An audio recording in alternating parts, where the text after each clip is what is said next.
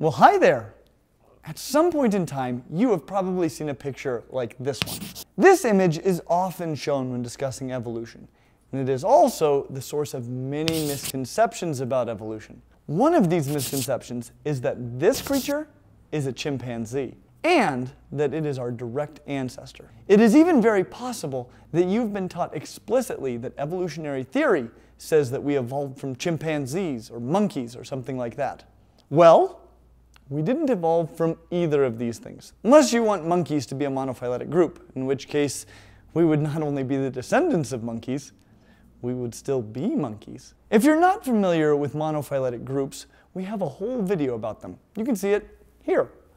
But the principle that you will really need to understand is how to interpret a phylogenetic tree.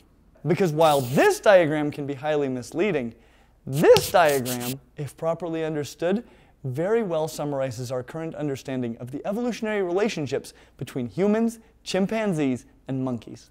If you don't understand how to interpret phylogenetic diagrams like this, and most people don't, even if they think they do, then I have good news for you, because we have a stellar video about it. Check that out, right there, and come back when you're done.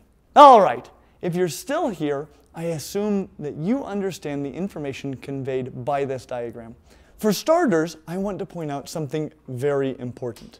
Based on this diagram, which represents our current understanding of the evolutionary relationships of primates, we can see that New World monkeys, Old World monkeys, and apes, including humans and chimpanzees, all share ancestors. Old World monkeys are actually more closely related to apes than they are to New World monkeys.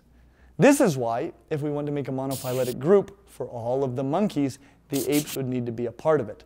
That group is actually called the simians. So they are all simians, and monkey is a paraphyletic group. What we can also see is that New World monkeys, Old World monkeys, humans and chimpanzees all share ancestors.